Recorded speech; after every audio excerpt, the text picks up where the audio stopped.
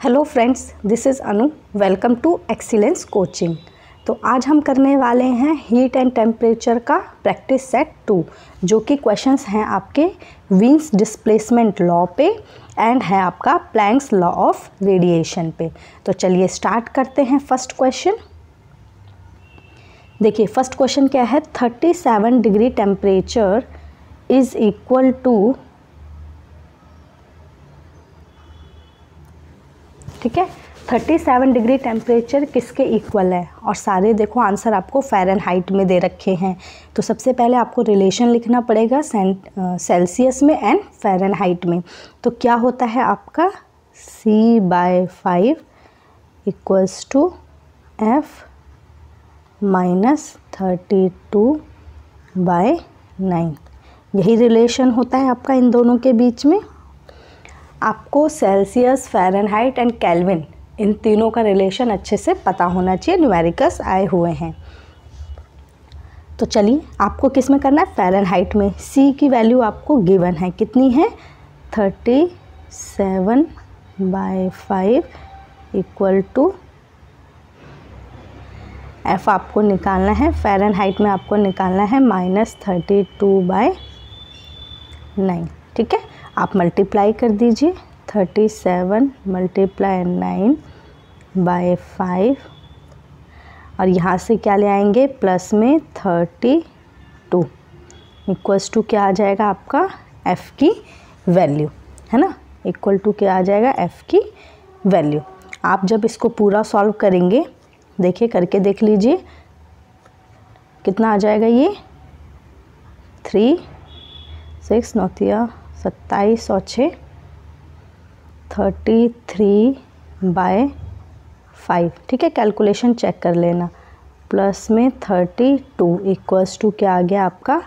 F इसको जब आप पूरा कैलकुलेट करेंगे तो आपका आंसर क्या आ जाएगा? Ninety eight point six degree Fahrenheit ninety eight point six degree Fahrenheit okay ये आ जाएगा आपका। तो correct option is option D बहुत ही सिंपल है, आपको सिर्फ़ ये रिलेशन याद होना चाहिए और जो भी आपको गिवन है और जिसमें चेंज करना है, सिर्फ़ उस तरीके से सॉल्व कर देंगे, ठीक है?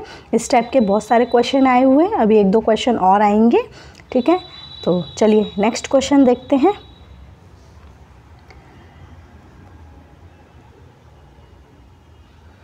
The temperature in the Fahrenheit scale corresponding to 253 Kelvin. देखो, यहाँ पे केल्विन और फ़ारेनहाइट की बात की है। तो रिलेशन हम किसका लिखेंगे? कैलविन एंड फ़ारेनहाइट का। देखते हैं क्या होता है कैलविन और फ़ारेनहाइट में। K minus two seventy three divided by five equals to F minus thirty two divided by nine यही रिलेशन होता है तो इसको याद रखेंगे, ठीक है? ये तीनों ही रिलेशन मैंने आपको नोट्स भी बनवाए हैं, ठीक है? तीनों को याद रखना है। अब क्या करना है, आपको के की वैल्यू गिवन है 253 minus two seventy three divided by five equals to F minus thirty two divided by nine. इसको आप यहाँ पे देखेंगे तो ये माइनस करने पे कितना आ जाएगा? Minus twenty divided by five equals to F minus thirty two divided by nine. Five four जा कैंसिल हो जाएगा।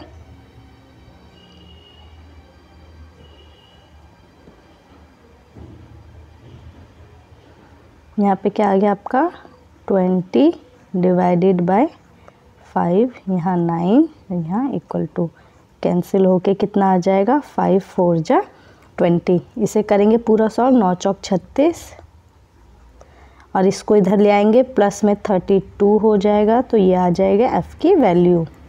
तो सिंपल कैलकुलेशन है, ठीक है? कर लेंगे आप सभी। तो ये कितना आ गया? Minus four degree Fahrenheit. तो correct answer is option A clear any doubt बहुत इजी क्वेश्चन है। दोनों सेम थे जस्ट आपको फॉर्मूला पुट करना था करना था। ठीक है? चलिए नेक्स्ट क्वेश्चन देखते हैं। A cylinder of cross sectional radius one centimetre ठीक है? आपको क्या गिवन है? रेडियस एंड हाइट गिवन है four centimetre heated from zero degree centigrade to hundred degree centigrade एक रे, आपका क्या है? सिलेंडर है जिसका रेडियस गिवन है और हाइट गिवन है। अब क्या किया जाएगा? उसको हीट किया जाएगा। जब हीट किया जाएगा तो उसमें कुछ चेंजेस आएँगे। किस किसमें चेंजेस आएगा? उसके रेडियस में चेंज आ जाएगा और उसकी हाइट में चेंज आएगा। क्योंकि वो क्या करेगा? सिलेंडर एक्सपेंड करेगा। एक्सपेंड करेगा तो उसके रेडियस और हाइट में क्या आएगा? चेंज आएगा। तो पहले वॉल्यूम आपका कुछ होगा और जब एक्सपे हीट किया जाएगा एक्सपेंड होके उसका वॉल्यूम कुछ और आएगा। तो बस उन्हीं दोनों वॉल्यूम का क्या निकालना है आपको? डिफरेंस निकालना है। ठीक है? तो देखो कोफिशेंट ऑफ़ लीनियर एक्सपेंशन आपको गिवन है। What will be the increase in the volume of the cylinder ठीक है? ओरिजिनल वॉल्यूम कुछ और होगा। ठीक है? ओरिजिनल वॉल्यूम कुछ और होगा जो नॉर्मल है। और उसके बाद जो उसमें चेंज आ रहा है, उसकी रेडियस और हाइट में, उसके बाद उसका वॉल्यूम कुछ और आएगा। तो दोनों ही वॉल्यूम का डिफरेंस आपको निकालना है कि कितना इंक्रीज हुआ है। तो चलिए देखिए, सबसे पहले रेडियस आपको कितना गिवन है?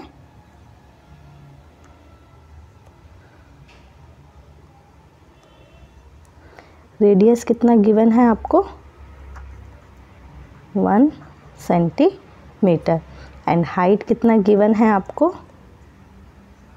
फोर सेंटीमीटर तो सबसे पहले आप वॉल्यूम निकालो वी वन ये क्या हो जाएगा? पाई आर वन का स्क्वायर एच ठीक है, इसको आर वन कर लो, पहला है। तो इसको जब करेंगे तो आपका क्या आ जाएगा? आर वन कितना है? वन और हाइट कितना है? फोर और पाई का पाई तो आपका वी वन कितना आ गया?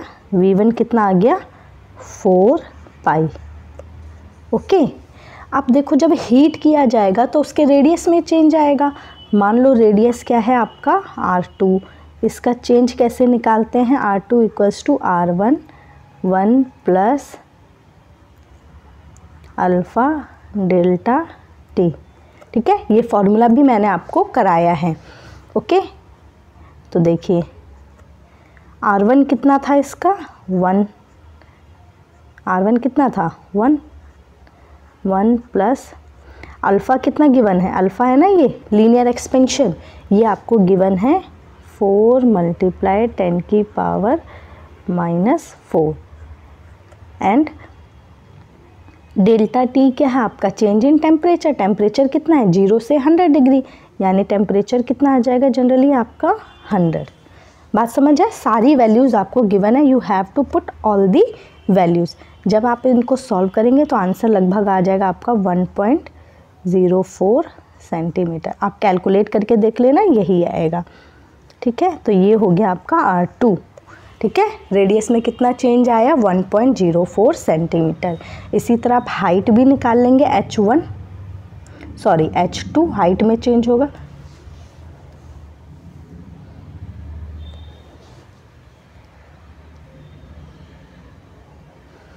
हाइट में चेंज होगा। हाइट में क्या चेंज होगा? H one one plus alpha delta T ठीक है? यही आएगा। तो वैल्यू पुट कर देंगे सारी। H two equals to H one कितना है आपका? एच वन कितना था पहले? फोर इसके बाद आ गया वन प्लस अल्फ़ा कितना आ गया? अगेन आपका फोर मल्टीप्लाई टेन की power minus four and delta T कितना हो जाएगा? हंड्रेड ठीक है? सारी वैल्यू को जब सॉल्व करेंगे तो आपका आ जाएगा answer four point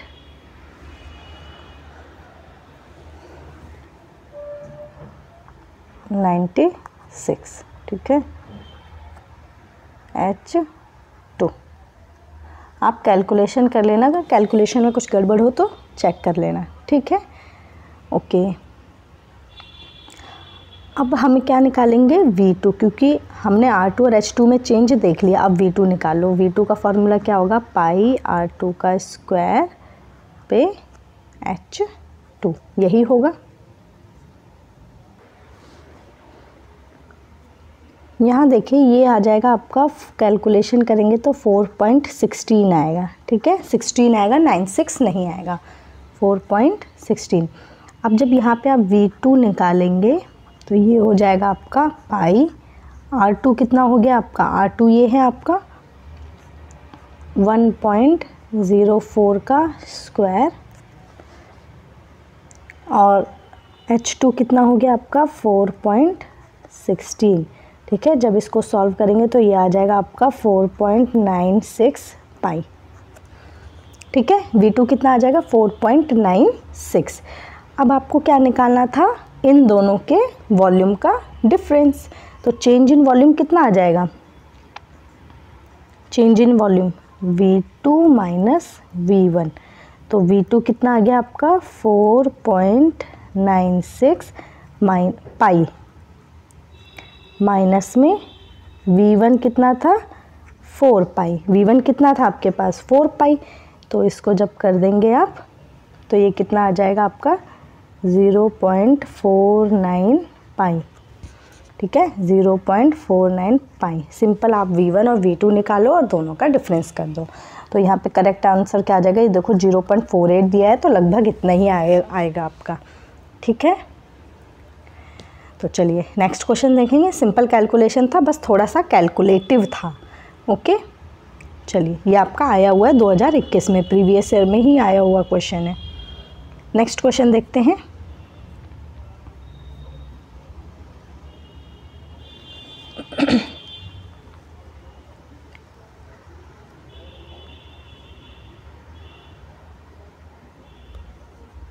When water freezes, the distance between its molecules. जब वाटर फ्रीज होगा, जब वाटर क्या करेगा? जमा होगा फ्रीज होगा तो डिस्टेंस क्या होगा उनके बीच में? इंक्रीज होगा। क्लियर डिस्टेंस क्या होगा? इंक्रीज होगा। Next question transference of molecule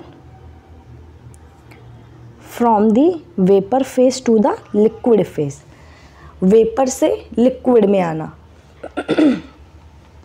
ये सभी प्रोसेस तो आपने पढ़ी होगी, वेपर से लिक्विड में कब आता है? कॉन्डेंसेशन में। ओके? तो condensation is correct answer. Next question देखते हैं।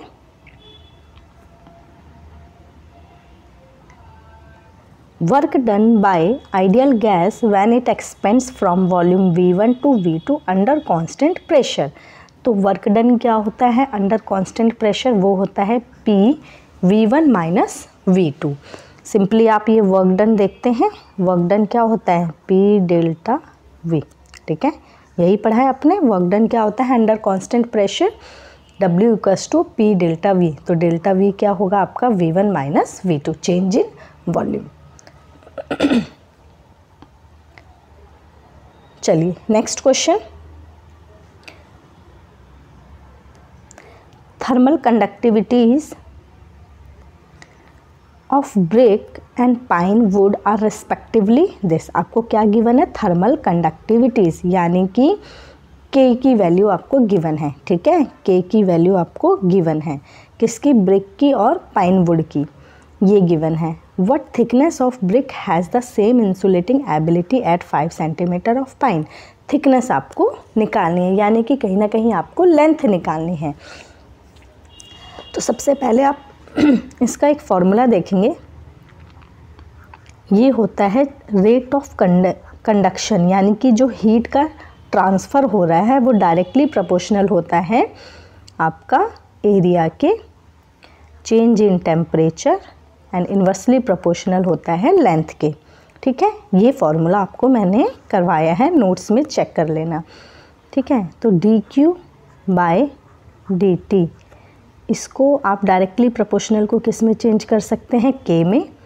K A delta T by L is it clear तो हम यहाँ पे एरिया और टेम्परेचर की बात नहीं करेंगे क्योंकि ये नहीं गिवन है। हम किसकी बात करेंगे? थर्मल कंडक्टिविटी यानी कि के की वैल्यू एंड लेंथ की वैल्यू क्योंकि थिकनेस की बात हुई है। तो हम क्या देखते हैं? K one upon L one equals to K two upon L two ठीक है? के वन और एल वन आप मान लो, ब्रिक का थर्मल कंडक्टिविटी है और लेंथ है, ठीक है? एंड के टू और एल टू किसका मान लेंगे हम? पाइन वुड का। तो हमें किसकी थिकनेस निकालनी है? ब्रिक की। किसकी निकालनी है? ब्रिक की। ये किसके लिए है? ब्रिक के लिए। और ये किसके लिए है? पाइन वुड के लिए। ओके तो हमें थिकनेस निकालनी है ब्रिक की, यानी कि हमें एल वन निकालना है। बस you have to put all the values thermal conductivity तो गिवन है ब्रिक की, कितनी गिवन है? Zero point six zero point six divided by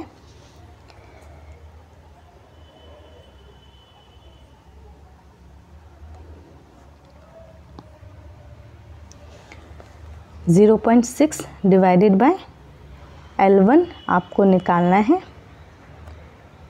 and K two कितना गिवन है? Zero point thirty divided by L two कित L two आपको given है फाइव सेंटीमीटर बस सिंपली आप इसको zero point six multiply five divided by zero point thirteen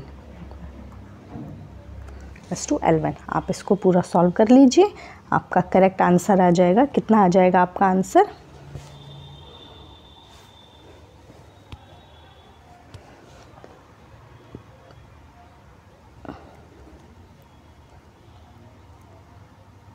इसको आप पॉइंट को सेल्व सॉल्व कर लेंगे सिक्स बाई टेन ये हो गया आपका थर्टीन मल्टीप्लाई हंड्रेड ऊपर, और ये हो गया मल्टीप्लाई में फाइव है ना? फाइव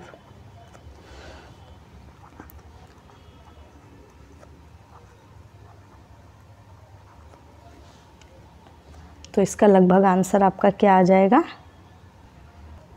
इसका आंसर क्या आ जाएगा? ट्वेंटी थ्री पॉइंट समथिंग करके आएगा, ठीक है? इसको आप कैलकुलेट कर लेंगे यहाँ से तो आप जब कैलकुलेट करेंगे तो ट्वेंटी थ्री पॉइंट में समथिंग आंसर आएगा। तो आप अप्रॉक्सीमेट क्या लगाएँगे? ट्वेंटी थ्री सेंटीमीटर ओके चलिए next question two ends of a metal rod are maintained at temperature 100 degree centigrade and 110 degree centigrade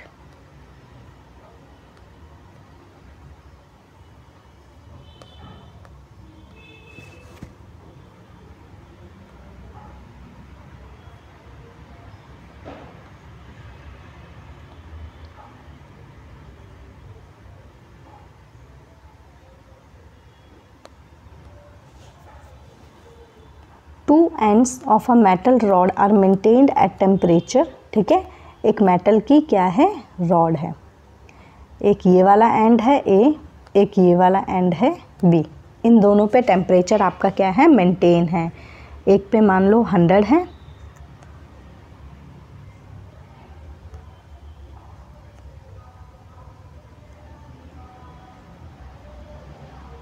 और एक पे कितना है? 110 डिग्री सेंटीग्रेड है।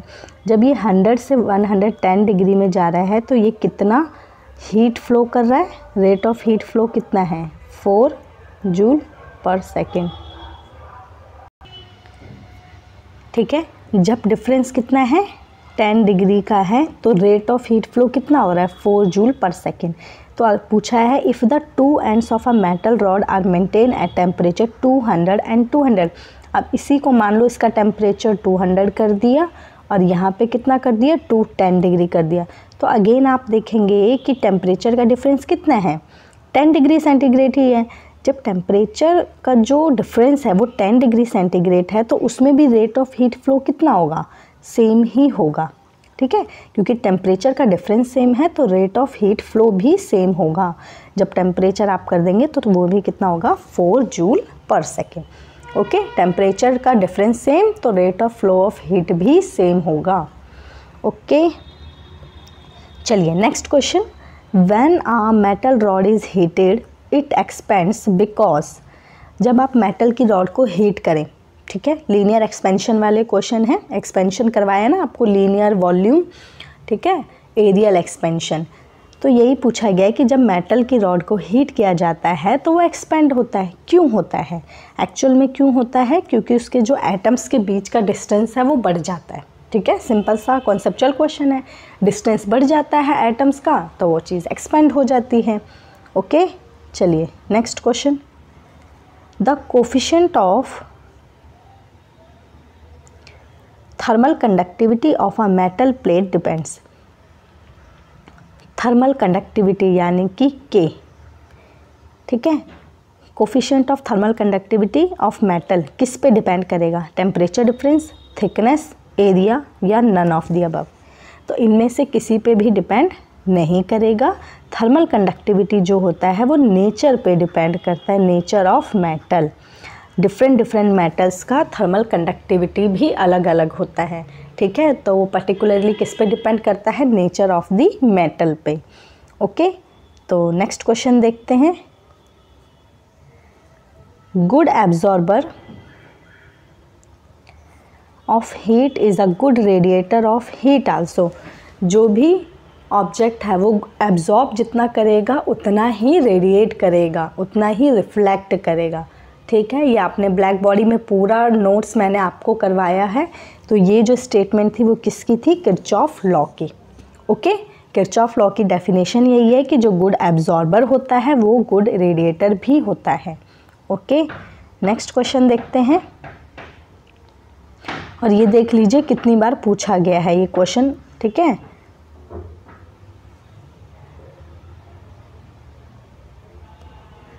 Next question according to Wien's displacement law maximum wavelength related to absolute temperature बहुत ही easy question है।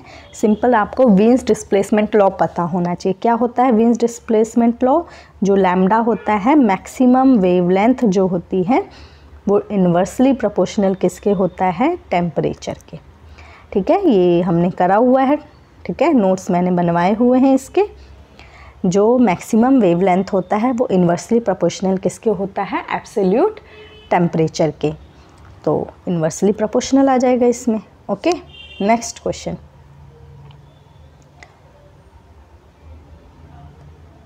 Wien's displacement law is देखो, ये आपको रिलेशंस दे रखे हैं और कितना इंपॉर्टेंट है ये देखो।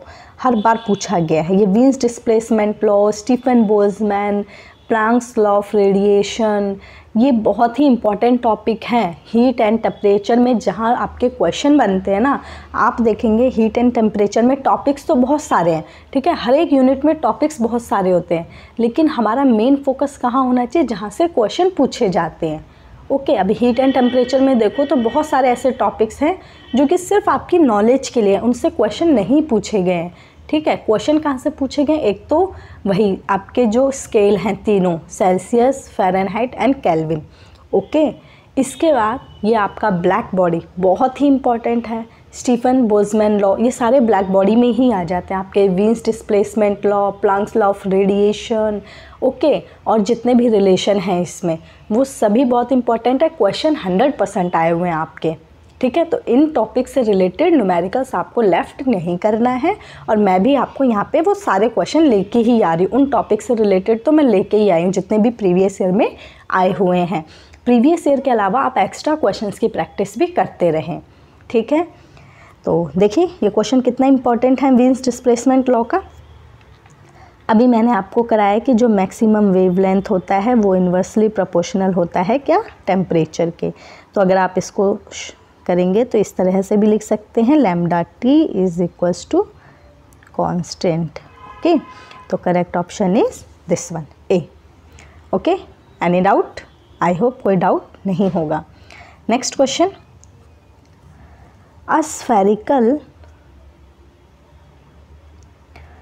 black body of 10 centimetre radius is maintain at this what is the power radiated power radiated यानी कि आपका आ गया प्लैंक्स लॉ ऑफ़ रेडिएशन ठीक है? प्लैंक्स लॉ ऑफ़ रेडिएशन इसमें आपने एक सिंपल देखो, इसमें आपको रेडियस गिवन है टेम्परेचर गिवन है and power radiated power radiated यानी कि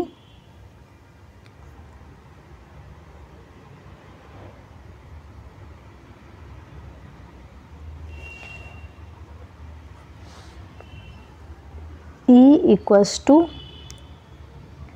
sigma A T की पावर टी की पावर फोर ठीक है? ये बहुत ही इम्पोर्टेंट है। फॉर्मूला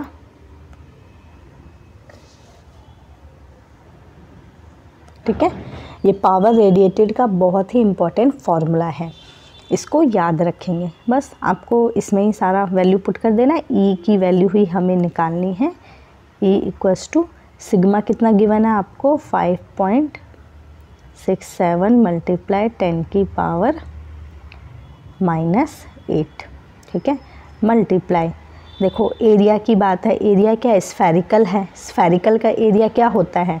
स्फेयर नहीं स्फेरिकल मतलब वही बात होगी स्फेरिकल स्फेयर इसका जो एरिया होता है, वो होता है फोर पाई आर का स्क्वायर मल्टीप्लाई टी की पावर फोर टेम्परेचर देखो सेंटीग्रेड में है तो इसको सबसे पहले तो सेंटीग्रेड को आपको ज़्यादातर किसमें चेंज करना है? कैलविन में. तो थ्री ट्वेंटी सेवन कैलविन में चेंज करने के लिए क्या कर देना पड़ेगा इसे? टू सेवेंटी थ्री ऐड ये तो आता ही होगा सभी को. तो ये कितना आ गया? सिक्स हंड्रेड तो ये क्या लिख देंगे आप यहाँ पे? सिक्स हंड्रेड की पावर फोर। ओके? तो बस ये सारी वैल्यूज़ करेंगे, five point six seven multiply ten की power minus eight, four. Pi कितना रख सकते हैं आप यहाँ पे? थ्री पॉइंट फोर्टीन रख सकते हैं, बाईस बटे सात रख सकते हैं, मल्टीप्लाई। आर कितना गिवन है? Ten centimetre. ठीक है? कितना गिवन है? Ten centimetre. यहाँ पे जो यूनिट है वो मीटर स्क्वायर में तो आप इसको चेंज कर लेंगे। ओके? चेंज करेंगे तो ये कितना आ जाएगा? Zero point one. ओके? इसका स्क्वायर है तो ये स्क्वायर हो जाएगा। और ये सिक्स हंड्रेड का की पावर फोर। इसको जब आप सॉल्व कर लेंगे, ठीक है? ज़ीरो करके सेपरेट और सिक्स सिक्स जा करके पूरा सॉल्व कर लेंगे तो आप देखेंगे इसका आंसर लगभग कितना आ जाएगा? Nine twenty three watt watt क्यों लिखा है? क्योंकि पावर की बात है। ओके आप कैलकुलेशन कर लेना यहाँ पे, ठीक है? मैंने वैल्यू पुट करके दिखा दिया, आप कैलकुलेट कर लेंगे। पेपर में कैलकुलेशंस भी आती हैं, आपको पता है तो आपको अप्रॉक्सीमेट करके शॉर्ट करके अप्रॉक्सीमेट आंसर निकालने का कोशिश करना है। ये नहीं कि पूरी पूरी कैलकुलेशन करने बैठनी है, ठीक है? आपको अप्रॉक्सीमेट वैल्यू लेके काम करना है, ठीक है? तो ये आ गया आपका पावर रेडिएटेड बहुत इजी क्वेश्चन है सिंपली आपको क्या याद होना चाहिए था इसका फॉर्मूला ओके?